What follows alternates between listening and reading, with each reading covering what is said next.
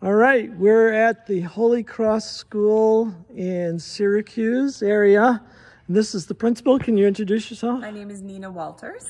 I'm Hi. the principal here at Holy Cross in DeWitt. Awesome, awesome. So we had a bubble assembly today with what grades? with grades pre-K through third grade. Oh, and they were a great They group. great, yeah. Very energetic and lively group, yeah. So what was the occasion today?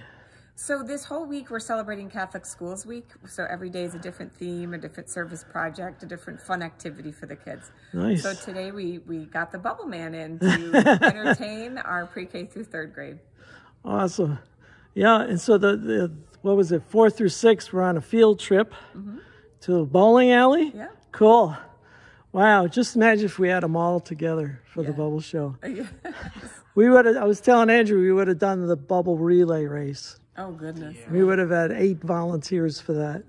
That's great. That's great. Wonderful.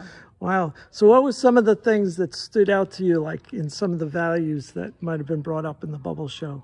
Oh, sure. Um, well, I did like how you, um, you know, talked about different, like whether people were happy or sad or came there with a fighting spirit or encouraged friends or, so I think all of that is good. Those good lessons for them to learn.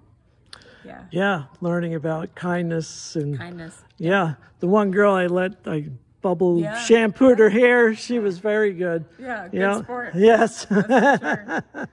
Yeah. well, thank you very much you. for inviting us out. Thank you. Yeah, God bless you, you, and too. your your whole school and you body here. Yes, right. thank Thank you. you.